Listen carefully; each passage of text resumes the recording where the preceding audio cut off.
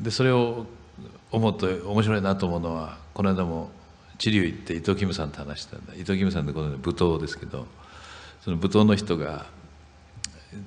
あの世代の人がですね知立なんてはっきり言えば田舎ですからお客さん来てるお客さんって田舎のじいさんばあさんですよねはっきりやその田舎のじいさんばあさんがキムさん舞台の上がって20分かなんか無言でですねただひたすら動いてる。ただひたすら動いてるのをじーっと見てます。僕見てたんですよ一緒に。でほとんどあくびしないで見てますから。やっぱり なんか興味がどうして興味があるかっていうとあの動き自体がおそらく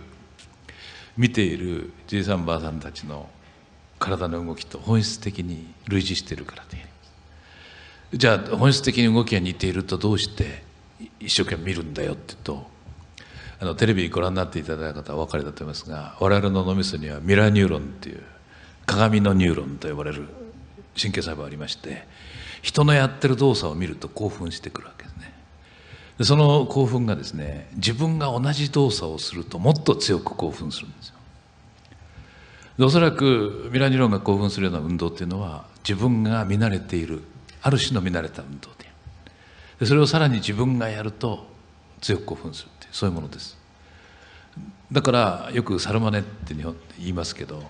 サルマネはがあるということはつまり猿にはミラーニューロンがあるに違いないという。実際猿で見つかったんです最初。ミラーニューロンは。そうするとあの演劇とかですね舞踏とかまあ、踊りが典型的にみんなそうですけどもああいうものが皆さん方にどうして影響を与えるかっていうと脳みその中で明らニューロン自体が共鳴を起こしてるんです。でそそうだからやっぱりその子供もそうですが育ってくる過程でそういった共鳴現象を通じておそらく言葉を覚えていくようになる。で共鳴しちゃうんですからあの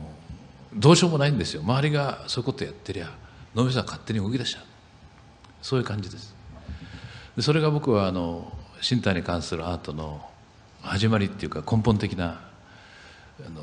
なんて言いますか基礎だろうと思ってますつまり人が動くのを見てまず自分の脳みそは興奮してるっていうでそれは何もその今のは典型的にニューロンつまり神経細胞1個の単位ですけど逆にですね1個の神経細胞が別に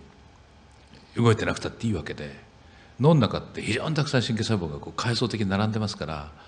その回路自体がそういう性質を持ってもちっとも不思議じゃないなと僕は思うわけです。よくあの人からめったに聞かない意見で自分が持っててあんまり言ったことないんだけど人から同じ意見聞いた時にそうだそうだって非常にこう喜んで相づちってる場合ありますよね。そういうのもおそらくどっかで共鳴してるけど回路が。同じ回路っていうものが。そういうことを考えるとそのアートも分かる分かんないって言ってますけどその分かる分かんないってまさにそういった共鳴があるかないかである。でなきゃないでしょうがないんだし別にいいわけで。あれあったで、まあ、通じる話が通じるっていうか